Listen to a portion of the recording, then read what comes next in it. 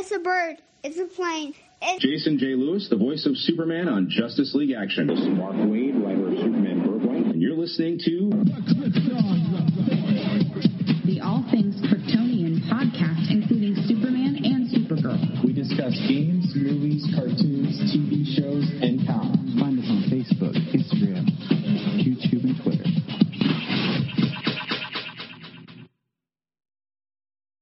Welcome to the Krypton Report. I am your host, Tyler, the Superman of Blue, the man of tomorrow. And with me today is not that beautiful man named James Cole. No, no, no. We got a special treat for you today. So, being the Superman I am, I decided to find, you know, a, a another superhero. So I traveled to Fawcett City, sort of, and I found uh, a new friend here that we're going to talk about, and I'll let him go ahead and introduce himself. Go ahead, new friend.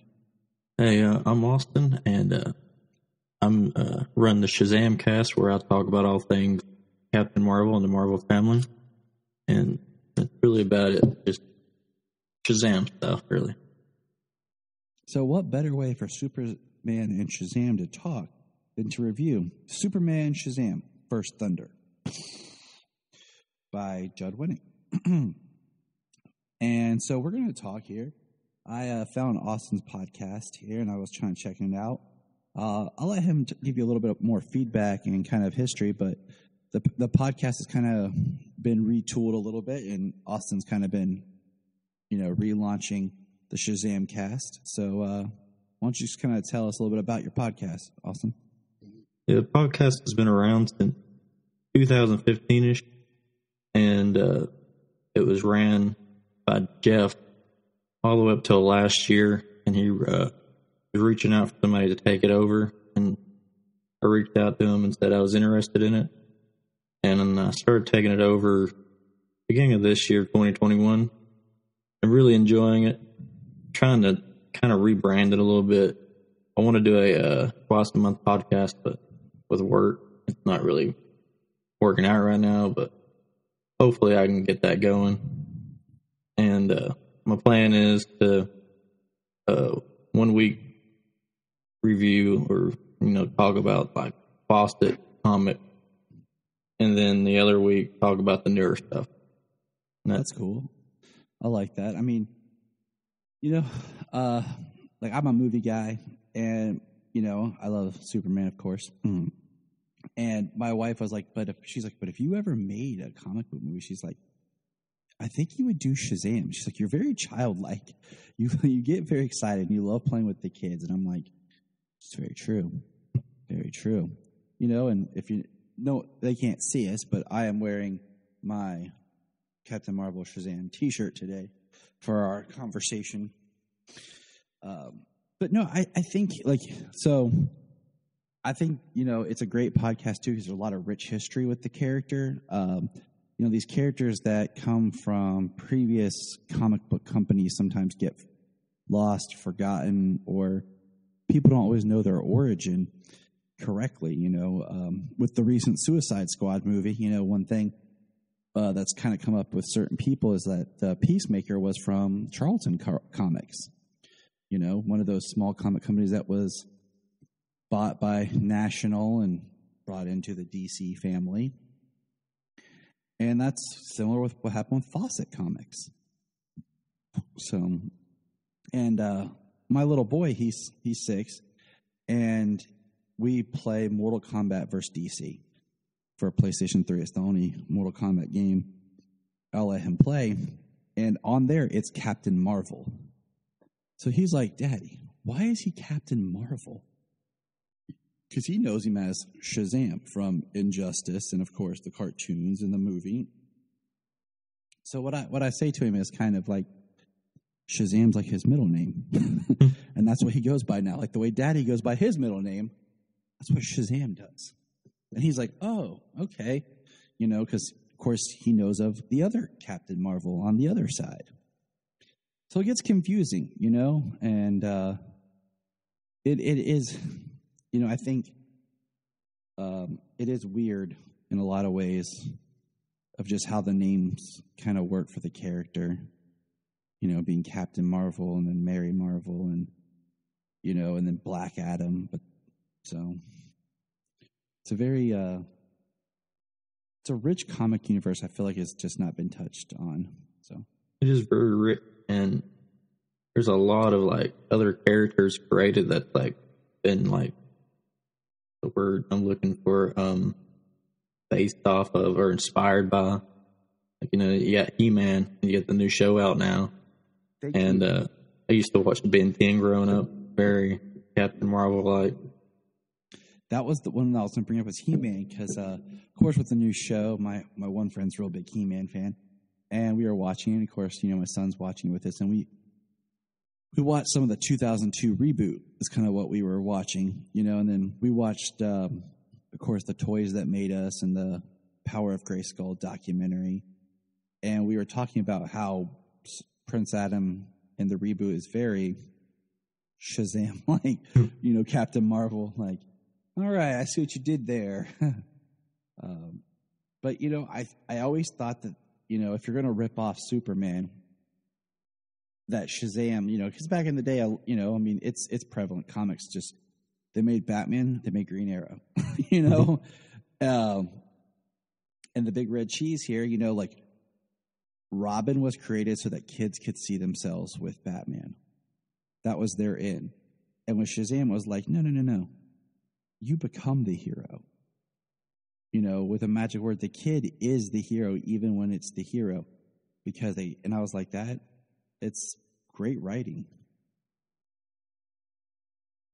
The writing for those old Fawcetts, it just, I, I think they stand the test of time.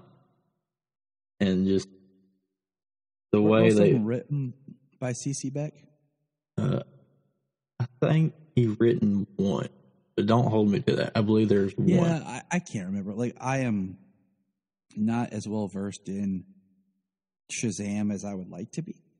Um, and that was one thing I found interesting, you know, that about your podcast was just, you know, uh, listening and kind of getting some of the history. Like, uh, I think I messaged you after I listened to like one of the origins that you did, uh, episodes, you talking about the origin of Captain Marvel.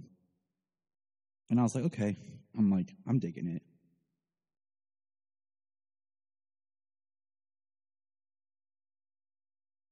I think the, uh, I think I only have done the origin Captain Marvel because I plan on doing it throughout the whole Marvel family. And I was actually supposed to have one come out last month, and work has just threw everything off.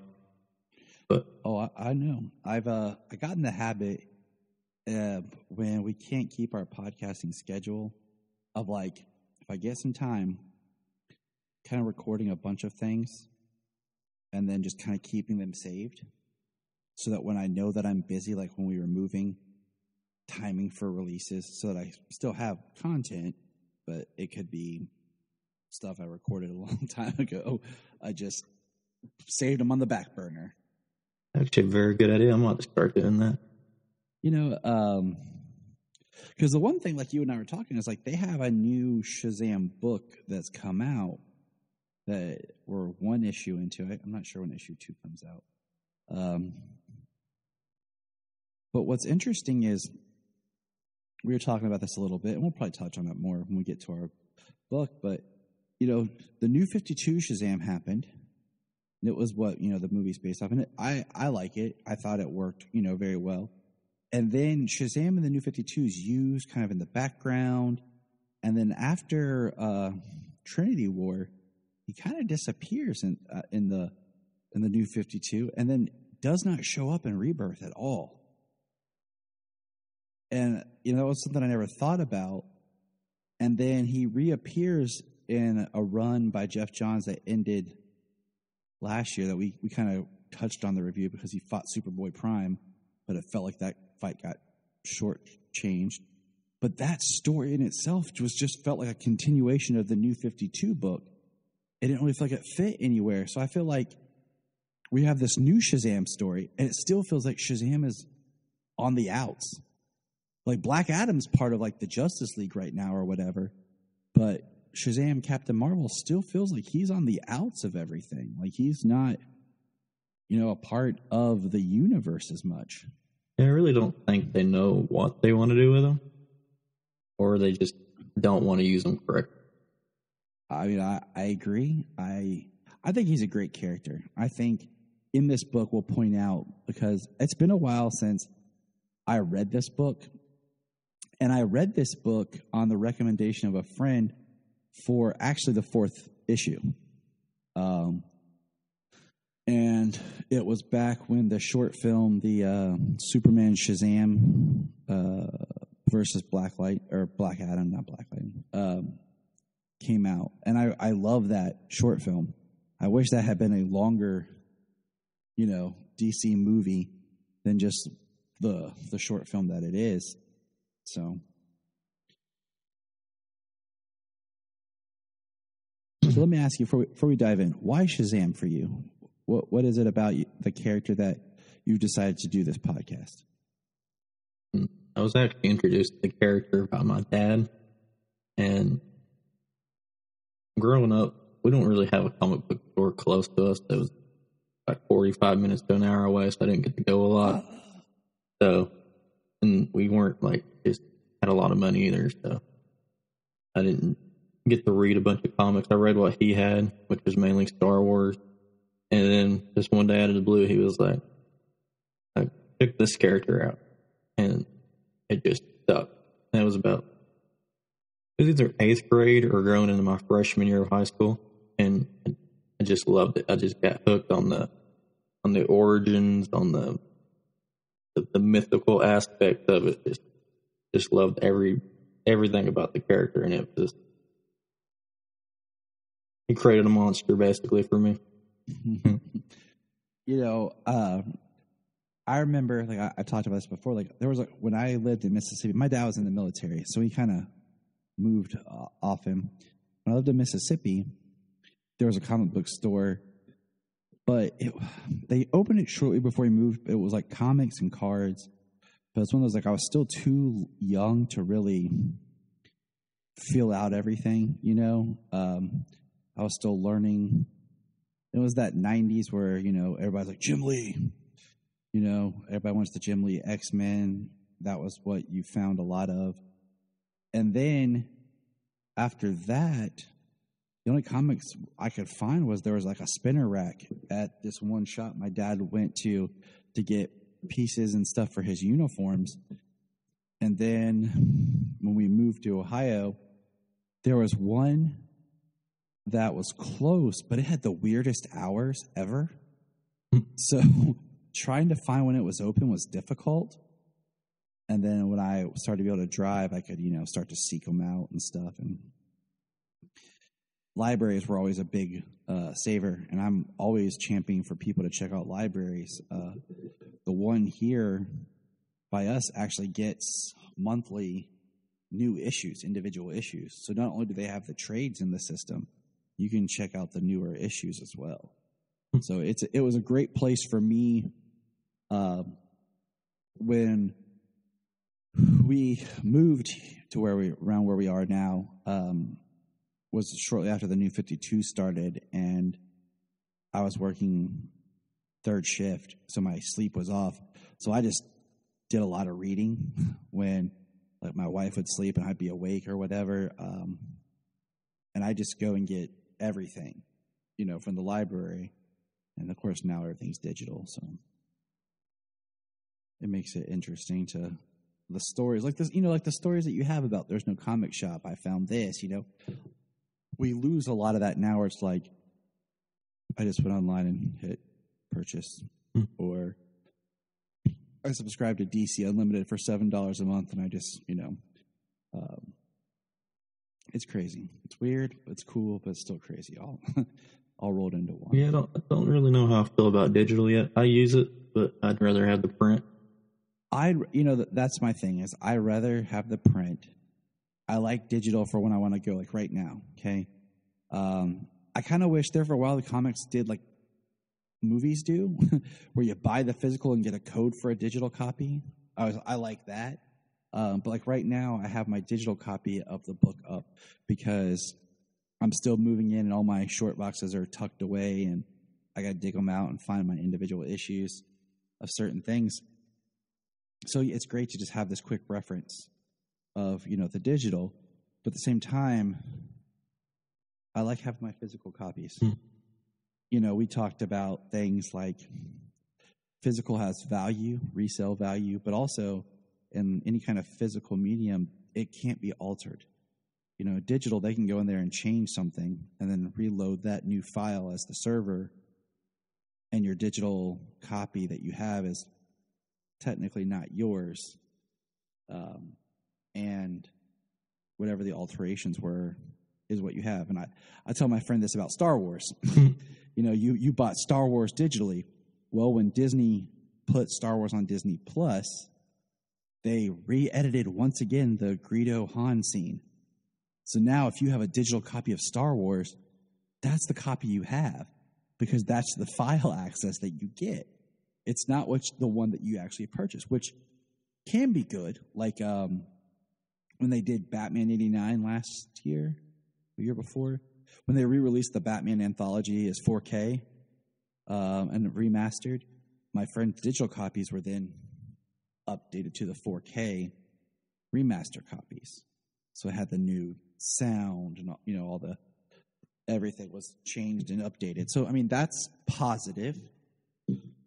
But I remember when uh, it was a few years ago when uh, they uh, went in there and changed the color grading for Batman v Superman, and everybody was mad about it. But that was about the time when they had uh, you know Josh Whedon come in and finish Justice League, and they were going in that whole new direction, and they changed the color grading on the on the digital of Batman v Superman, and everybody was pretty ticked off about it.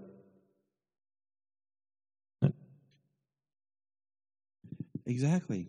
And if you own your copy, you don't have to worry about that. But it's like when they did the uh, the remastered. I'm trying to remember. So like they did the remaster of BVS, where it was now in the same format that Zack Snyder's Justice League is. And I'm trying to remember, like, because I have the two digital copies, the extended and the theatrical. One of them was updated, and one wasn't. I want to say the extended copy is now in the square format. I, I, I haven't checked it in a while, but I remember when that happened. And I haven't watched it since they re- put it in that format digitally. So I don't know. I don't know either. I, I meant to go watch it, but I haven't I haven't watched it since they, they claimed they did that. I'll check it out. But let's get into our book today.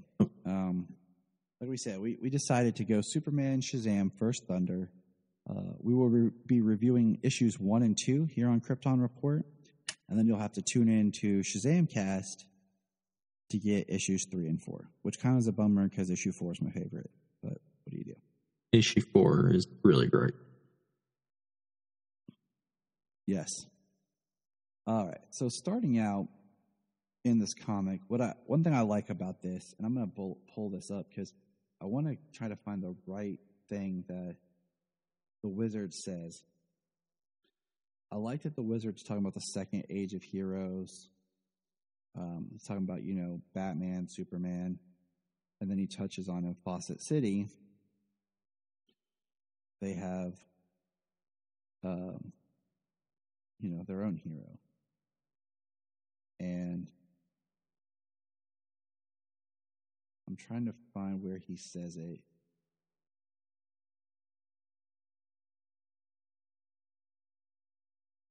He is my disciple, my herald, my champion.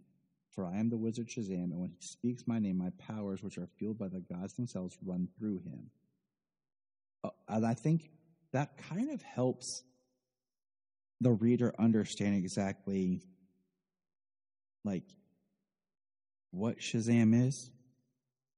Um, you know, it, you know, in the movie, the wizard dies, and you know, gives him his power. And in this, it's kind of like the wizard still exists in some way.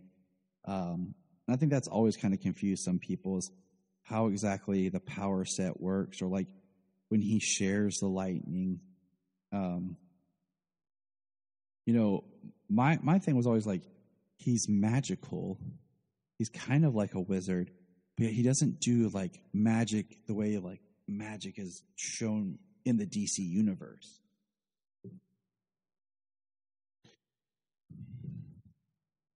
Yeah. I agree with that. I, I've never really put that much thought into it, but I think I agree. Because I always thought you, I always thought he'd be a really interesting character to have like, like if I was gonna write Justice League Dark, I think you know you you think Justice League Dark, you're like okay, Constantine, Zatanna, uh, Swamp Thing, Etrigan, throw Shazam in there. You know, like this young, naive child who is powered by this magical wizard, and now he's going up with like, you know, John Constantine's on his team, and we all know how that could be. So, I just thought he'd be an interesting addition to Justice League Dark. It would be a very interesting addition. I really like John Constantine too, so I'd like to see those two share a panel. Right. I, I mean, they they interacted a little bit during the Trinity War and the New Fifty Two, but Constantine Moore was trying to trick Shazam into something. I'm trying to remember what it was. It's been a while since I read it. I'm be honest with you, I started reading that one and it just never got my like could hold my attention, so I just kind of pushed it to the side. I hear you. Yeah. I hear you. And I actually like most of the uh, the new Fifty Two Justice League run, but the Trinity War just it wasn't my cup of tea. I liked Trinity War. There was a couple. But I felt like the Justice League of America was a cool idea, but that was like the one that I was like, eh. But I thought what what the whole Pandora thing was cool. The question and the Phantom Stranger were awesome. I thought that was cool the way they did. I hate that they never really revealed who the question was. It wasn't Vic Savage. It was supposed to be something like bigger, you know.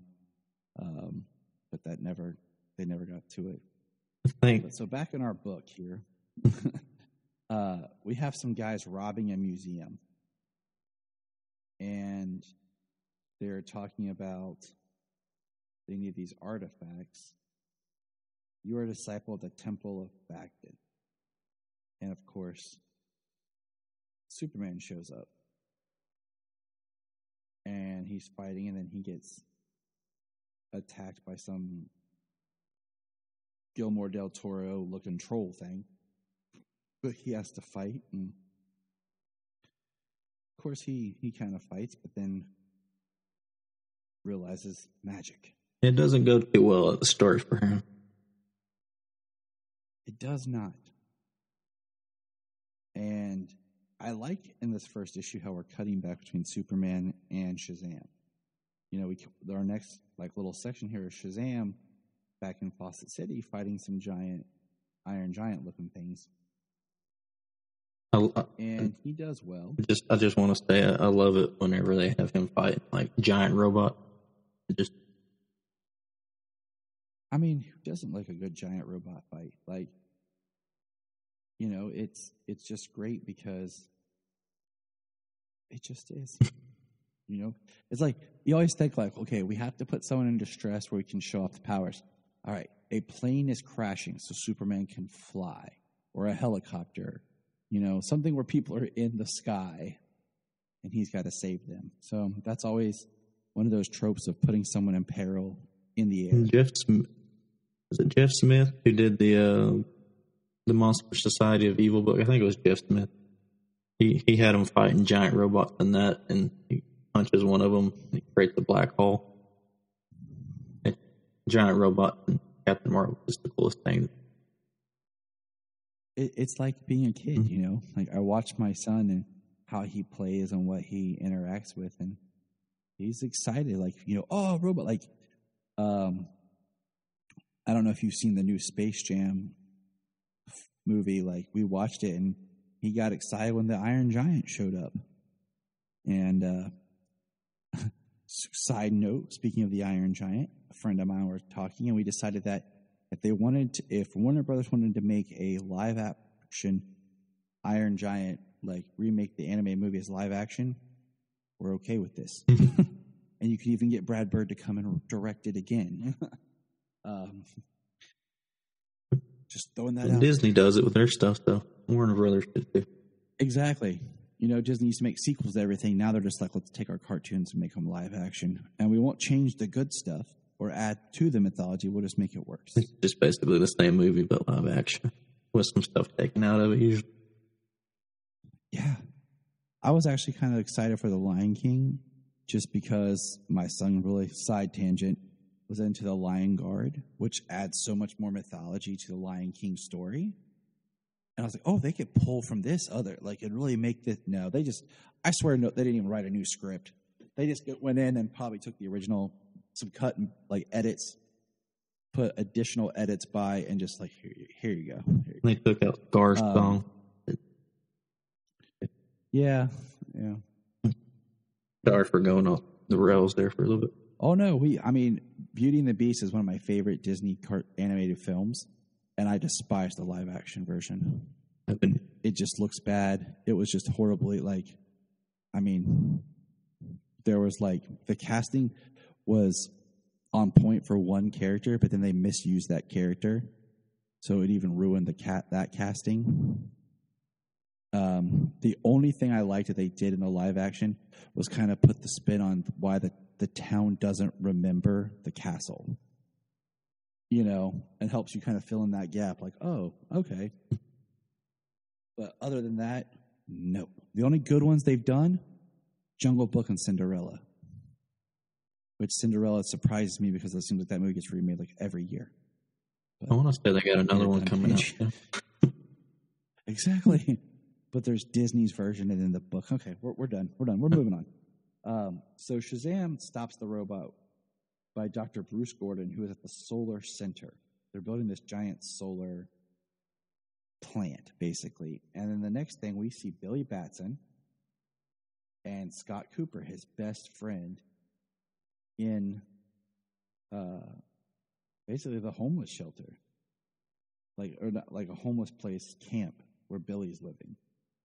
And I think this is one thing that I think so inspiring about Billy in this book is just the fact that Billy's got it rough, but he's still this hopeful, optimistic kid. Um,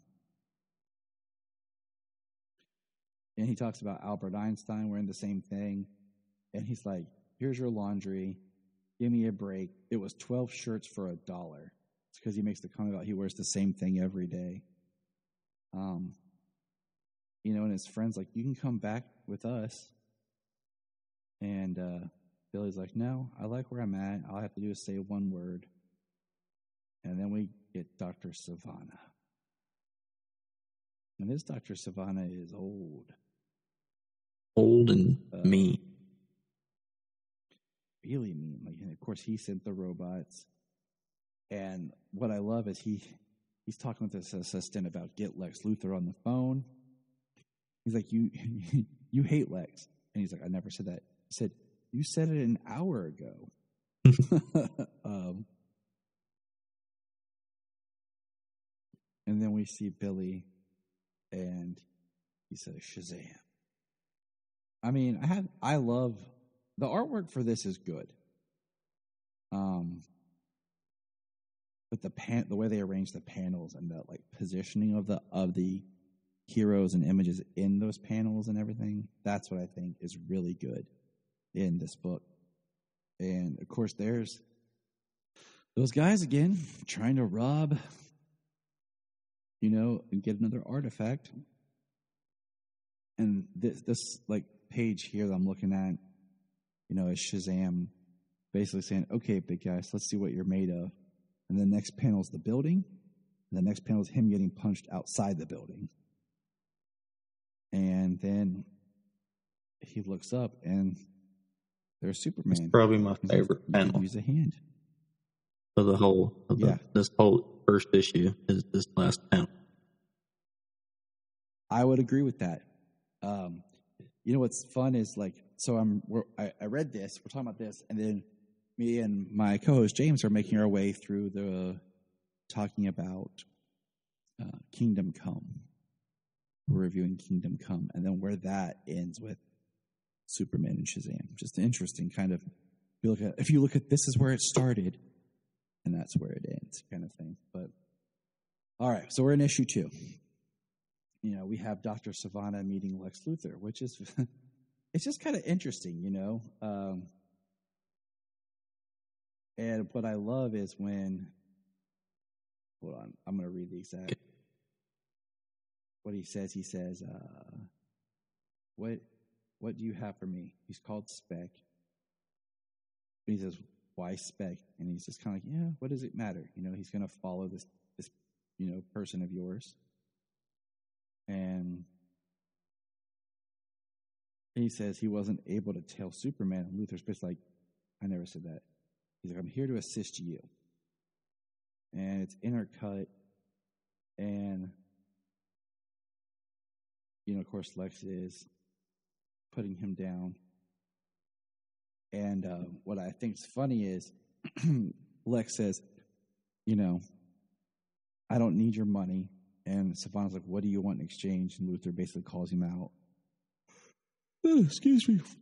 He says, I want you to sell to me the 80,000 shares of LexCorp you've been acquiring under the mantle of other dozens of shell companies. and I'm like, that's Lex. Um, and then we see that Spec here, you know, Spec had followed Billy. And uh, this is like a couple days back. You know, we find out that this occurred because now we're back to right now with Billy looking up at Superman, that he's here. And he says, Wow, I cannot believe this. I have been, wow, it's truly an honor. And holy moly, you're Superman. That, uh, that right there, uh, that reminds me of that episode of Justice League Unlimited, kind of, when he, like, first meets Superman and he's like, Hey, Superman, you're my biggest fan, or whatever. And he's just like, so excited that he's meeting Superman that he doesn't exactly know what to say or how to say it. That's kind of like what I got from. I don't know if it was an Oh, I love it. Like, I just love the way, Sh- I love the way Shazam is used in the first season of Young Justice. Um, you know, I love Young Justice season one and season two. I think it's especially that. Have you watched all season one? no, I haven't. there's an episode with where Klarion and a couple others basically split the world into like almost like two realities, where one is all the adults and one's all the kids, and so all the kids think all the adults are gone, and all the adults think all the kids are gone. But Billy Shazam's the only one that can travel back between both worlds. Um, and so he's used, and at the end, like the whole like Justice League sitting there and they're like talking about how they feel that Shazam had lied to them by not revealing that he was really Billy, a child. And Batman's like, I knew. Of course Batman knew. You know what I'm saying? Like he calls them all out and he's like, I've always known. Like so it's a great episode. Um, I highly recommend it for anyone who's a Shazam fan. Um, just because you get to see him and it's always funny because he's like mentally he should probably be on like the young justice team but yeah you know he's in the the you know the regular justice league so it's always fun to play with that I do really. I have seen that episode, and I remember he's like, I believe he's in a plane, and like he's yeah Yeah. part yeah and he's having to like shout Shazam to go back to the like the different worlds, I guess. Yep. It's it's a, like I said, it's a great episode. Um, so back to our comic. Uh, we see Superman and Shazam looking at these magic made muckmen, and they punch them, and Superman's like, "Nice shot," and Shazam, you know, like, "Thanks," and they're just, you know, they're palling it, and Superman gets basically crystallized in this thing. Meanwhile, the guys are stealing what they need we find out that they have this little small dude uh, named Timothy Barnes kidnapped, and he's supposed to be of this lineage. And you know, I love this line of "It's okay, Superman, I got your back." And Shazam shows up and he says, "Don't move, Superman. I don't want to hurt you." and he punches the stuff away. And he says, "Catch your breath." He says, "I never get winded," and uses his freeze breath. And I just, I just love Shazam's holy moly. And then, of course, um, you know, these creatures are shooting that same magic stuff at Superman. Shazam gets in the way and blocks it, takes it back, pushes him, and then Superman freezes him. Um, and, you know, and I just, I just like them talking. Um, and I like Shazam says it was a, it was a crystalline force beam. It's actually how mollusk trolls excrete waste. You fought those monsters before? And he says, No, I just know things. Wisdom of Solomon. Um, you know, I just, I just like that Shazam is smart, and I like how he asked Superman, "Do you have some time to talk?" And I just like them throwing out at Mount Everest. I'm gonna be completely honest with you And on, Shazam, on this. Um, story wise, there's a lot of comic that just has better stories in this, but them Mhm. just talking is what makes this for me. Besides issue four, oh, totally. but Yeah, yeah. I mean, as far as like the whole, I, I feel like that's the story. That's what they want to tell is just really Shazam looking up to Superman and like building this relationship of these characters, and they just needed the other thing in the background to have something to fight. Um, because like this page right here, where Shazam's just freaking out and loving his powers. Um, and you know, Superman even says he starts to open up and like, you know, to to him. And he says, "I." Superman says, "I forgot myself there. I don't ever talk about well this with anyone. Not like this. I've made it a point to keep my life when I'm not wearing the uniform separate. I'd rather not discuss the specifics of who I am." He says, "When you're not Superman." Yes, I hope you understand. He says, Well, sure, I understand. I just think it kind of stinks. You know, and so like that that's the heart of the story. And then of course we find out Sivana, you know, and they they create Sabbac, this basically anti Shazam kind of thing where he is powered by Satan, Anam, Belial, Beelzebub, Asmodeus, and Kratos and the dude says the name, we have, you know, their champion arrives. And this is the part where I feel like the story kind of goes off the rail. This is where I'm like, you could have left this out, I think. And I think if you were to adapt this into a an episode or a movie storyline, I think you would leave this out. But we find out that Dr. Bruce Gordon is really uh, having some issues you know, the book cuts back to um, you know, Superman and Shazam talking, and he asks him about, uh, you know, Superman tells about what his outfit is, and Shazam, he asks why the cape. He says it comes with the outfit. And he says, well, it's kind of a long story, and he's trying to tell him, like, you know, where he comes from, but they have trouble back in Fawcett. And they're like, okay.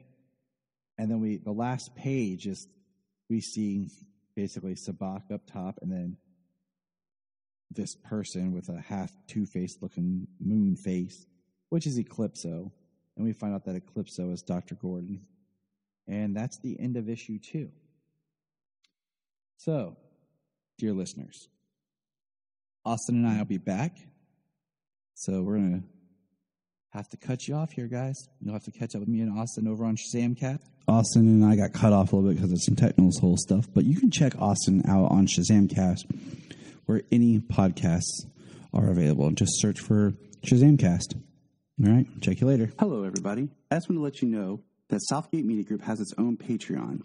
That's right. For $5 a month, you can get exclusive shows, content, and interviews with the different podcasters of the network. This week in Geek is a Patreon exclusive only series. So check it out. Go www.patreon.com slash Southgate Media Group. We are always adding new content. If you want to help out this show and any other show on Southgate Media Group and you really don't have the extra money to do so, check this out. Go to southgatemediagroup.com. At the top, there's a link to Amazon. Click that, log into your Amazon, shop and buy like normal, and part of the money that you spend comes back to us to help us with our podcasts. The Krypton Report is part of the Southgate Media Group network of podcasts. If you have an interest, check out Southgate Media Group to see if your podcast is there. I bet it is. At the Southgate Media Group website, you can sign up for our newsletter. You'll get info on all the shows and you can find what you want. You'll also find links to our sponsors where you can get great products and support the podcast. Also, our book, Pod Life Podcasting Stories. It's a great book. Check it out. It's nice to hear where people come from and why they do what they do. Look up in the sky.